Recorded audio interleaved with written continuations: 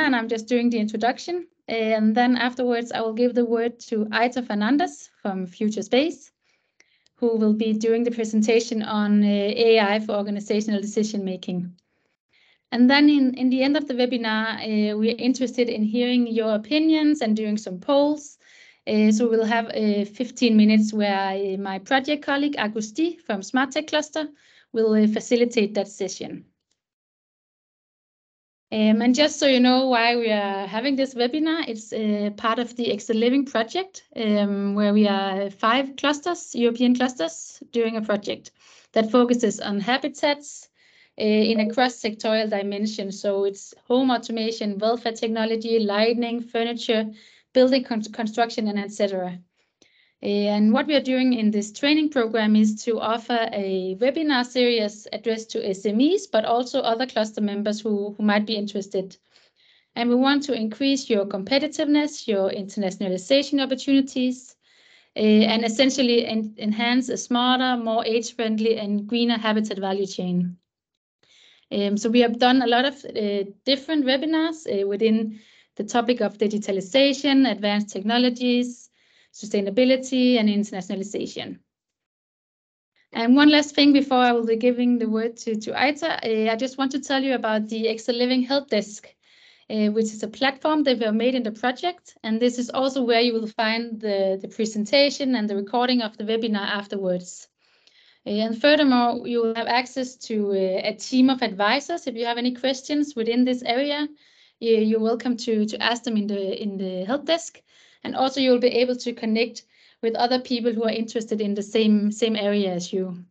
So so do uh, check it check it out, and it's for free to to make an account on the help desk. And now I would like to welcome Aita Fernandez, who is a business development manager in uh, Futurespace. Um, and um, Aita has worked within AI and digitalization since 2017 uh, as a data scientist and also as now a business development manager. And he is helping clients in different sectors uh, take advantage of AI in their business processes. And um, now he will hopefully uh, be able to, to learn us more about AI. So I will just stop sharing my screen and then now you're welcome to, to share your screen, Aita. Thank, thank you. you. Thank you, Nana, for your words. And thank you all for, for coming. I hope we make an interesting presentation and that it helps you. So give me one second. Okay, I think now you can see my screen. Yeah. Yeah. Great. So, uh, well, let's let's begin. Uh, as Nana said, now this presentation is going to focus on uh, a little bit about um, what's AI and then how can we use it uh, to for decision making. At, at the end, AI um, we need to see it as a it's a tool. Uh, it's it's come it's already here, but it's coming really really strong now as we've been seeing the last past month. That uh, there's been a lot of news about a lot of uh, developments, and we, we really need to use uh, to to start using it uh, so we can be more competitive and, and optimize our, our workflow and everything. So here are a few tips about how to how to use it. And as uh, Nana said, at the end we have a Q&A part. So if you have any questions, uh, we can discuss. Uh, we can discuss later. Okay. So let me see the the index. So first, we're going to see an introduction, a little bit about uh, us, about why we are we are giving this this webinar. Then a few basic things about AI, uh, the basics, no? What's AI? Uh, how can we use it? Applications and uh, tools that we already have. Uh, sometimes we are already using it and, and we really don't don't know because it's embedded in our in some applications that we use in our daily basis. Um, AI in decision making. Uh, here we will focus in how can we extract all the value from AI uh, in order to to, to make better decisions, no, or, or to use it to to assist that as as we make our decisions in our work, in our daily basis, and in, in everything that we can put our money into. And then we will see industry applications because sometimes what we see is, um, okay, maybe I know a lot about technology and about AI, but I have no idea about your businesses. So maybe for you is the is the same. You know a lot about your businesses, but AI is really far from your um, uh, knowledge. So with this type of session, what we try to do is uh, getting AI closer to you because at the end, you you are the ones that have the the ideas or you know what happens in your business. So it helps us a lot to to have this little conversation now for you to see uh, what we can do with uh, with AI. Uh, then we will see a few slides, a couple of slides of how can you get started with with AI. Uh, one approach is more is more simple, no, and the other is more uh, I want to do it myself. Uh, I want to learn, or I want to have a team inside my company doing it. we will see it there, and then a few another slide more focused on ethical and legal aspects. AI is being regulated um, right now, and well, it's been uh, it's been regulated for a few maybe months, years, but not like now. Like now with all the news that has been popping about ChatGPT and other uh, large language models and and another uh, all all types of uh, AIs. Uh, now, uh, really, governments and the European Union is starting to to see. Um, hard to make harder regulations. So we need to have that in mind when we build our models and when we uh, work with AI. So we have a little bit of a session there we that we can also discuss about. So first, uh, a little bit about ourselves. Uh, Futurespace, uh, we are a technological company. Uh, we were born like more than 25 years ago here in, in Spain, and we focus on, on technology. Um, the last years, we've been focused mainly on, on data. So here we can work with different type of data, uh, big data and AI, no, which is uh, what we are going to do today uh, intelligence data, uh, data from open sources, from social networks, from webs, from everywhere that we can uh, extract and analyze. Uh, we also work with data from uh, from phones, and we also have some applications there for, for our clients that we can work on. And in IoT and in Industry 4.0, we are also working with some industries, creating models for them, optimizing logistics, and doing a lot of things with with with data. Basically, no, we we are a data-driven company, and, and we want our clients to be also data-driven so they can extract all the value that they can from for their data.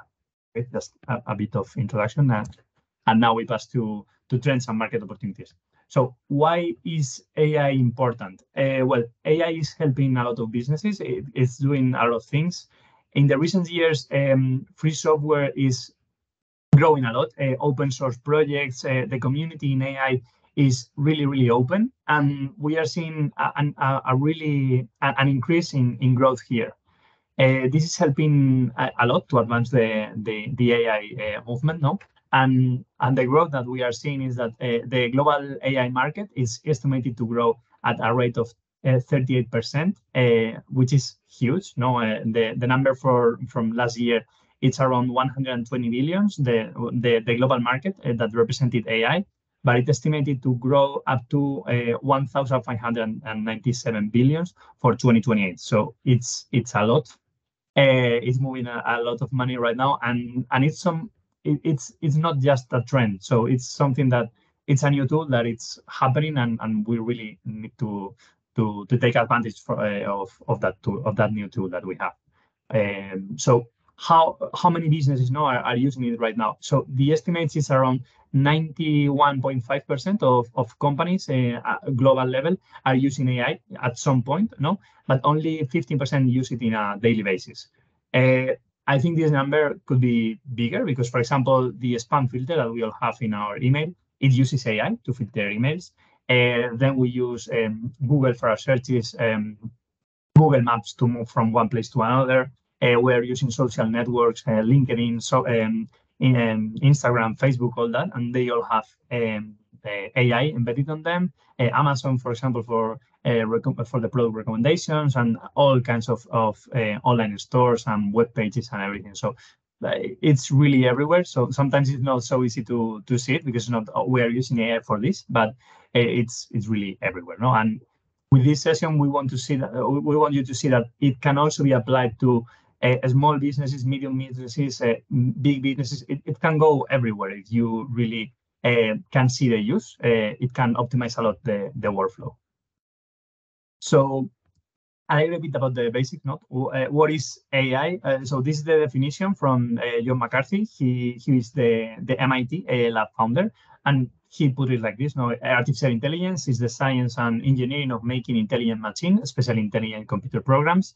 It is a re- it is related to the similar task of using computer to understand human intelligence, uh, but AI need not to be confined to biological observable methods. So what does this mean? At the end, artificial intelligence is just a system that mimics human thought and actions.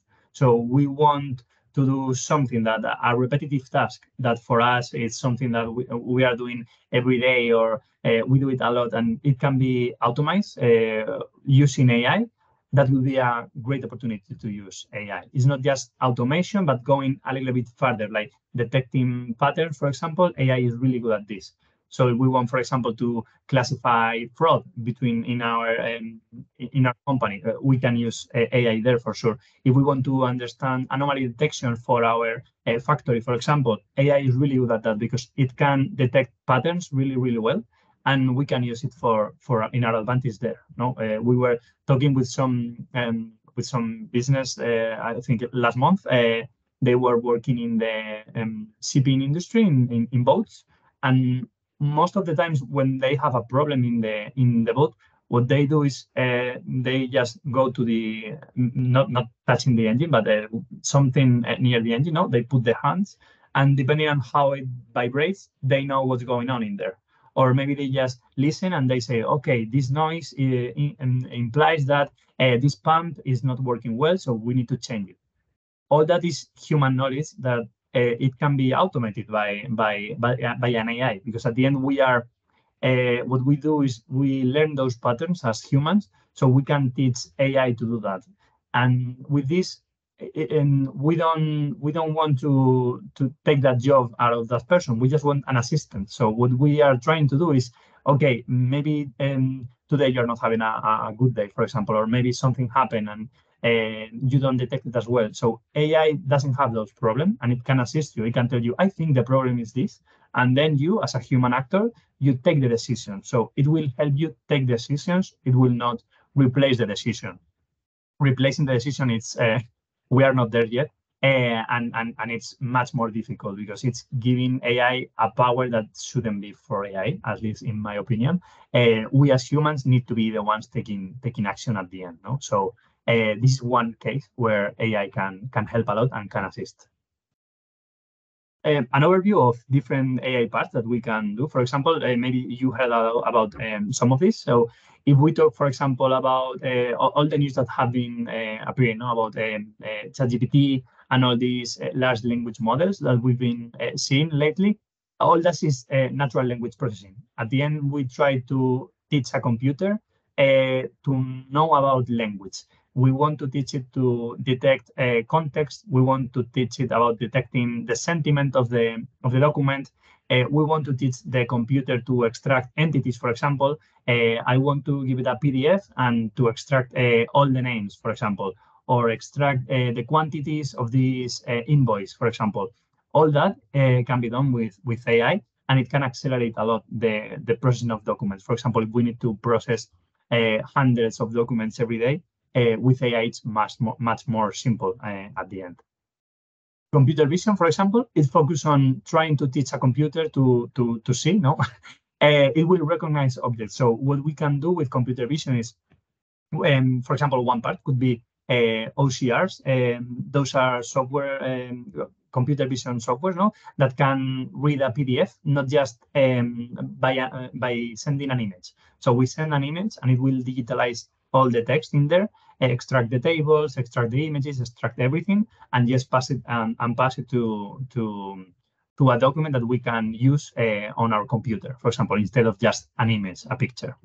We can also use it to recognize uh, objects and faces. Uh, sometimes, for example, um, when you enter, uh, especially during the pandemic, no, for example, uh, when you enter some some stores, uh, there would be a, um, a monitor saying um, there are 100 persons uh, already in here, for example. Uh, you can do that with AI. It will just count the persons that are coming in and coming out, and then it will tell you the number.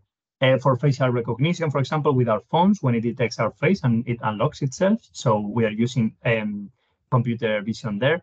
Uh, for videos and, and images also, uh, for example, in, in soccer, it's been used uh, and, and, other sports to detect um, the people uh, playing on the field. So it's easier then to to make statistics about who is um, um, playing better or playing worse, uh, who is sending more the ball to to other um, partners and all that. No, uh, we can do all that with computer vision, uh, and now it's also um, it's also have a really uh, uh, great increment in the last in the last I think six months, one year. It, it uh, gave a huge leap here, so there can be a lot of applications here.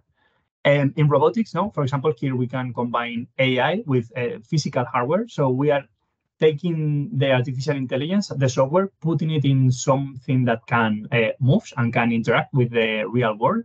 And we can do a lot of things uh, semi-autonomously. No, I think uh, I don't know if you have seen all the these uh, robots for uh, Boston Dynamics, the the the little dog, uh, well, dog-like machine, and and the human-like machine that they move and do things. No, uh, for example, all those type of robots can can use artificial intelligence to move. And the thing with this is that you don't really need to teach them to to walk. So what you do is you create an algorithm that will work with the latest uh, point that we have, reinforcement learning. So you will try to do things. You you tell it uh, you can do all these actions, and by repeating itself once and again and again and again, it will learn to do that task. So we can implement this in more things, but for example, in robotics, it's being used like this. It takes much longer than to train a, a, a human, for example, to, to recognize something but um, it's also working really well for for all these type of things that you just need to to increase the computing uh, power uh, and you just let the AI try again and again and again and again. Um, I don't know. Another example, for example, could be the uh, chess or the Go games that there was an artificial intelligence uh, that was a few years back that uh, won the, the to the best player, for example. So that's that's a that's a, an algorithm that can use reinforcement learning to learn. So it will just keep playing again and again and again, and it will learn all the patterns. And then when it plays with someone, uh, it it just uh, knows how to react to your uh, actions. For example, so this is another example of of reinforcement learning. But where can we use it? No, where are we using it already in our in our application? So personal assistant, for example, uh, Siri, Alexa, uh, Google Assistant, uh, they use NLP to understand what we are telling them. Uh, social media, for example, uh, the feed that we receive from social media, the, the one that I receive is different from the one that uh, other people receive because at the end, there is an algorithm behind it that will recognize what I like and it will keep feeding me what I like. So that's uh, also a problem of social media, no? Uh, but uh, it, it's something that works in, in social media uh, like a few months back, uh, Twitter, for example, released their algorithms for uh, recommending um, um, different tweets to to person, no, to, to see what you can see in your Twitter account. So uh, they they opened it and, and released it. So it, it's at the end is AI behind every social network to see to the to to tell you one thing or tell you a different thing, no, depending on on what you like, your preferences, what you click, where you don't click, and and all that. The spam filter, for example, as we said, no, uh, it's also using AI. For smart home devices, for example, uh, there are AI-driven uh, thermostats that just regulate themselves. For the lighting system, if it detects that your pattern is that you arrive at this time and then you go at this time, it will automatically turn on the the heating, for example, uh, just uh, 30 minutes before you arrive, first, and, and turn on the light the, the five minutes before you enter or something like that. It, it, they work with, with this pattern that, that you use. They learn your patterns and then they implement them themselves.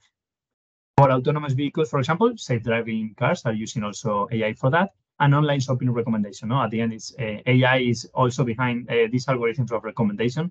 And when you enter a shop and they say, okay, because you bought this, uh, maybe you like this. No, depending on, on the algorithm. So some of them are based only on, on your previous purchases and others are based on also people that are like you, no, people that bought similar things uh, to you are buying also these things. So maybe you also like these things. So they work like that and they uh, send you notifications about uh, what you might be liking or when you when you attend the, the web page. Um, now let's focus on on, on decision making. Now, uh, so how can AI help us uh, in our company? Uh, uh, offering support, um, for example, this is one great example. No, as I said before, it can enhance the decision support system. For example, for for doctors now, there are some um, uh, some tests to use ChatGPT like um, algorithms to recommend diagnostics. At the end, it's a doctor, the one that takes the decision, but you can let the AI know all the problems and checking all the databases and uh, its previous knowledge, it can say, okay, maybe try this, this, or this. Then there is a doctor that will take the decision, but it can uh, provide you some counsel, no? So some support. Uh, for improving uh, predictive analytics, for example, it can let you know, um, for example, uh, this machine is going to probably break the next week or the in, in the next two weeks, for example, in your factory. So you should take an action. So it will let you know beforehand what's going to happen, so you can take an action here. No, it will support you with this, and then provide data-driven insights. Sometimes you just have a lot of data. You just try and you are just trying to to understand it. was related to what? Some see some correlation. See anything in the in the data. So AI there can also support you to let you know all these correlations that for humans sometimes it's difficult to get, but for AI it's much simpler. So it can also uh, work here some of the benefits that you can use by, by uh, implementing uh, AI in decision making. It increases efficiency and productivity. At the end, you have an, an AI uh, that is being trained specifically for that. Uh, so it knows a lot. It doesn't know a lot about uh, anything else, no, but it knows a lot about this use case in, in, in particular. So it can help you to be much much more efficient and, and, and increase your productivity also. Uh, it will reduce cost and resources. Uh, for example, also at, at, the end, you have a machine that works really well for something, so it will reduce the, the cost of doing that, that task. Uh, you will probably uh, do better decision uh, quality. No, it will increase your, your rate of accuracy, for example, to do this task. And it will enhance customer satisfaction at the end because if we are faster, if we are much more efficient, our customer will probably be uh, much happier with our with the service that we provide what are some of the challenges that we also see in, in decision making? So ensuring data quality and security, this is uh, really important. So uh, if the data is not uh, in a if it's not quality data, then the model will not be of good quality. So depending on what you input, the model will learn with that data. So if the data is bad, the model will probably be bad also. And the security, you know, at the end we are we are dealing with a lot of information, sometimes sensitive information from uh, our databases or our clients or, or something like this. So it's private data and it should be uh, it should be um, very secure. Managing the implementation cost, uh, this can also be a problem. So depending on what you want to do, you say, okay, I'm going to um, to buy this uh, spot on the cloud of Amazon or Azure or um, Google, and I'm going to implement an algorithm, and then you see charges everywhere. So this can be a problem also. Uh, so it's something to, to keep in mind no? when you are building an AI system, what's going to do, what does it need to create something that uh, doesn't increase the cost uh, way much more than, than, than, than you wanted.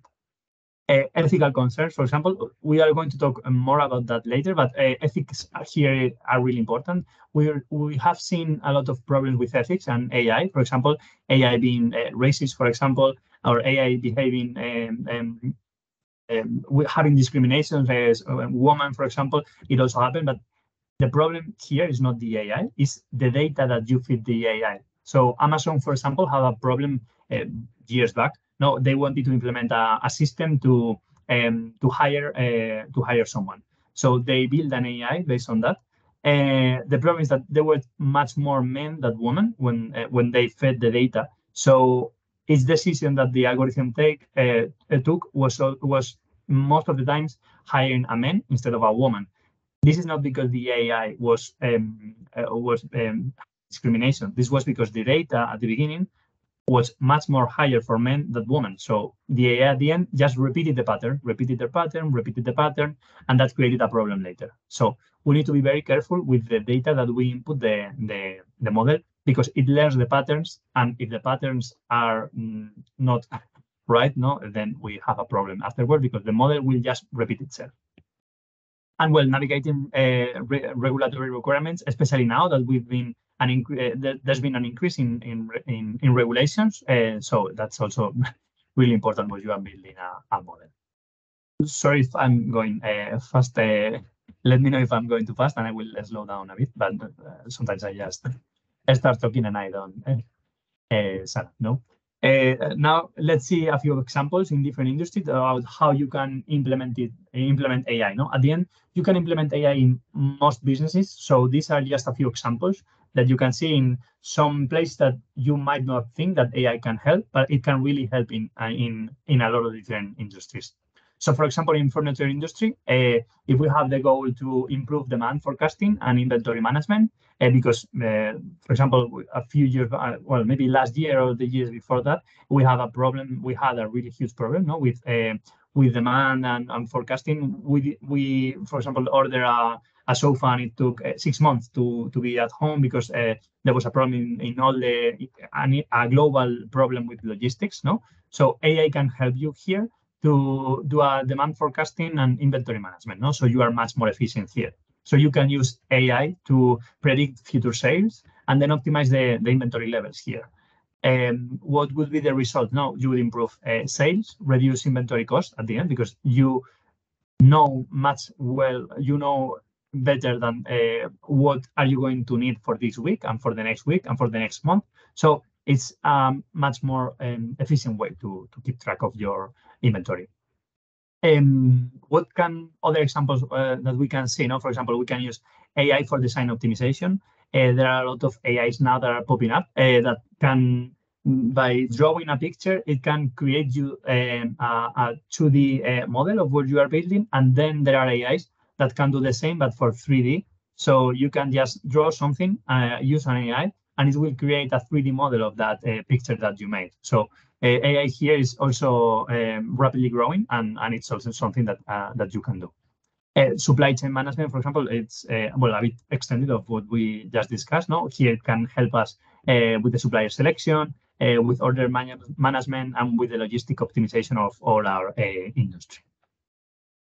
In construction, for example, here is some other example that is not so so common. No, so for example, if we want to enhance our project management and risk assessment, we can use AI to optimize the the project scheduling. For example, here uh, the resource allocation of our um, of our workers and uh, trying to make an estimate of the progress of, of the of the progress that we are making. No, and if we are uh, doing it in line with um, with what we said at the beginning, or if there have been delays and why the delays um, are happening and all that. No, AI can help us here. The results at the end would be uh, project timelines much uh, well constructed. No, we would reduce cost here because if we are seeing uh, if AI, if the AI model is telling us, okay, you might have a problem next week or in two weeks, here we can we can also, if we are aware of the of the problem, we can take action uh, faster and, and sooner. No. Other examples here that we can see now in this industry, for example, risk assessments, uh, applying uh, machine learning to identify potential risk and cost estimation. Uh, we can predict much more accurately uh, the cost of something based on past interaction and also open data that we can find from different industries and global markets and, and all that for home automation, for example, we, we discussed this a little bit before, but uh, for optimizing the energy consumption and, and enhance the, the, the user experience, uh, we can also use AI here.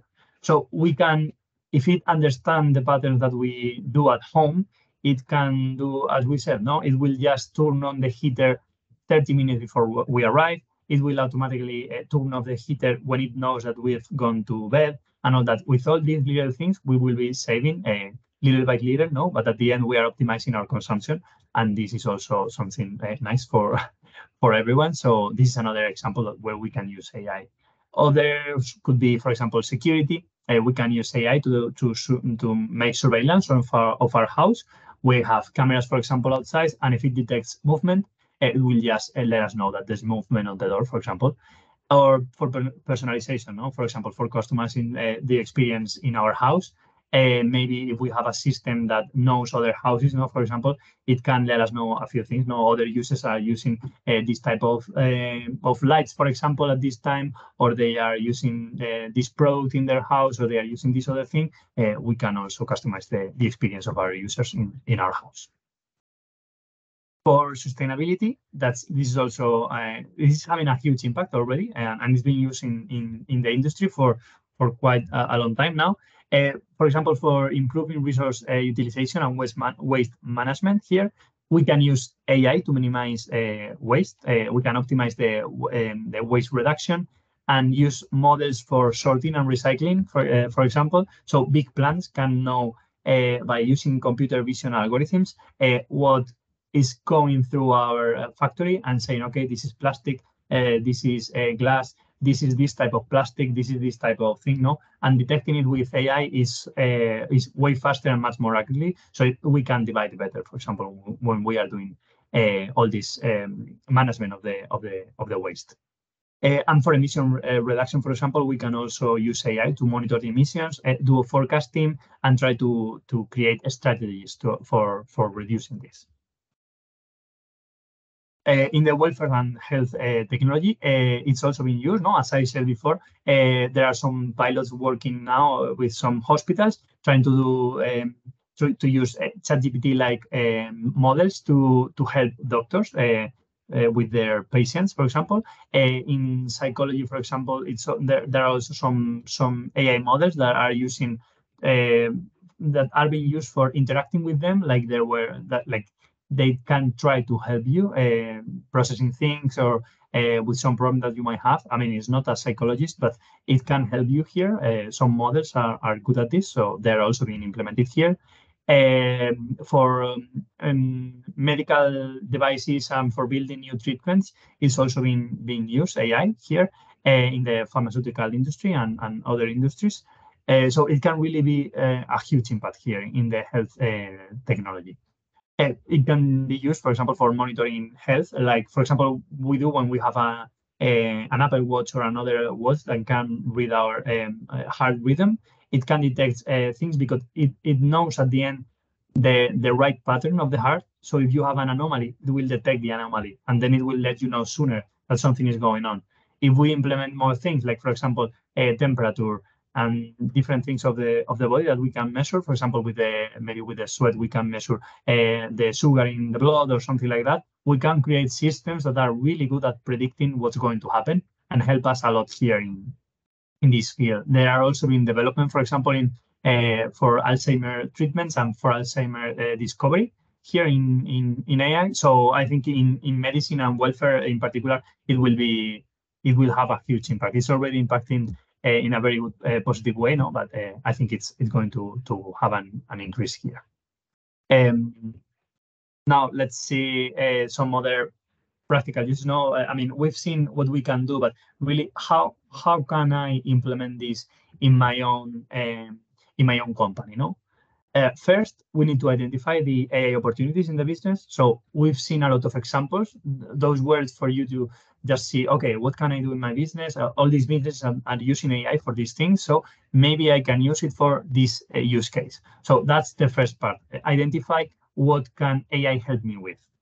Then you should try to build a culture around uh, data-driven. This is very important because without data, AI is nothing. So you need data to be able to create uh, models. So storing the data and having good quality data is really important for, for models. So having everything measured, having metrics everywhere, that's really important. I mean, for every business is important, no, but uh, for building machine learning models is really, really important. Then uh, what can you, you do here? If you have in-house expertise, you can develop it yourself, no? Or you can create a team that, uh, to do this there are um, it's it's they know there are more companies uh, popping up that can help you do this on an easy easier way. There are some companies that abstract you a lot from the uh, machine learning and, and, artificial intelligence model. Uh, they do most of the work. Uh, you still need to provide the data and all that, but they can do most of the training and deployment and all that. So uh, it's easy to to to work with. Um, some of them are also web-based, so you don't really need to do much a, lot of things. Uh, those are the the list no, of use cases. Uh, most of the use cases uh, you will probably need someone on your company to do all these models or someone outside a partner that can help you build all these uh, AI services. No, it depends on the use case. Some are easier, some are harder, but uh, these are uh, options that, that you may have. And then ev evaluate AI solutions. So um, maybe I, I have identified these problems, uh, but um, this use case has been Uh, I don't know. There are a lot of examples of this one. So maybe I focus on this one because it's already been solved in the industry. And then I will work through the others uh, to try to make much more efficient my my my field. No, this is like a few a view a, a quick view of this. Um, this is the do-it-yourself. No, uh, it's quite long. Sorry for the text, uh, but uh, but I couldn't summarize it more. Sorry. so here, for example, it is is the same thing. Understanding AI. No, at the end, um, you need to to acquire some uh, fundamental understanding of AI uh, to know all these type of, of different models that you can be used to then identify AI opportunities that you can have inside your uh, inside your company and then say, okay, this uh, is a problem that can be tackled with computer vision. This is a problem that can be tackled with natural language processing. Uh, this can be, this is generic. This is, for example, just a fraud detection. So it's just a true or false thing. So this is easier, for example. So it depends on the use case. Uh, you need to identify which model would be best, no?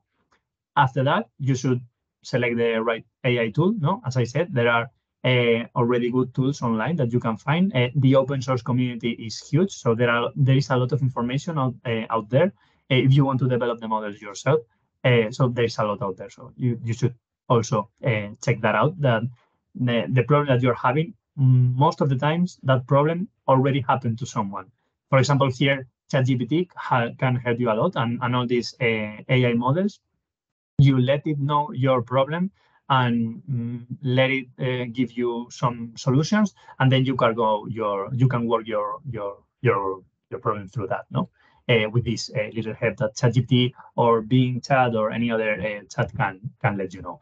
Mm, those chats are the, the, the, knowledge they have is until 2021, so they are not uh, up to date completely, but they are having interrogations with online, so they can might they might help you there. Then there is a part of the data collection and preparation no, as I said, data is uh, very important here with with uh, with AI models, and you need to establish a process to collecting all this data, cleaning the data, managing all the data that you are storing uh, to have high quality of this data. No, at the end, is, is what we said. If we are building a model with uh, bad data, the model is is not going to be good. It depends a lot on on the thing you input. Then with that, uh, it will give you a solution. So if, if the data is bad, the model will will be bad probably. Uh, after that, what, what can you do? A pilot testing. Uh, I wouldn't go for a huge solution or a big project or something like that. I like always to start um, small, have a little pilot, have a have a have a um, um, some small project to, to see if it's viable or not the the problem. And after we've seen that it can be it, that it works well and it can be done properly, then we extend and make a bigger project. Okay, so you must you first make a, a small pilot and then you uh, you train the model further. Uh, you deploy the model uh, with uh, a bigger project, and then you can work on that. And after that, it's just a case of continuous evaluation and adaptation. So models sometimes uh, get old really fast, maybe six months, one year, something like that. The data has changed, the pattern has changed, and you need to um, retrain the model. So this is something also important to keep in mind because you don't just build a model today and that model will work forever.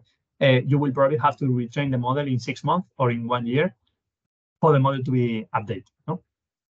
And something really important here uh, uh, is that AI at the end is a tool. It's a tool for decision making. It will not replace human uh, intuition no, and expertise. We will have to have some human after that to make the final decision, no? but it can help us a lot and support us a lot in taking informed decisions. No, it will not let us know. It we will not follow it blindly. It will let us know something, and then we as humans need to take control and take the final decision. This is uh, very important because leaving all the work for AI it's not uh, something good. Um, now let's go to the final part, the part of ethics and legal aspects here. Um, where are some ethical considerations? No, here uh, well, we already talked about uh, this uh, data privacy.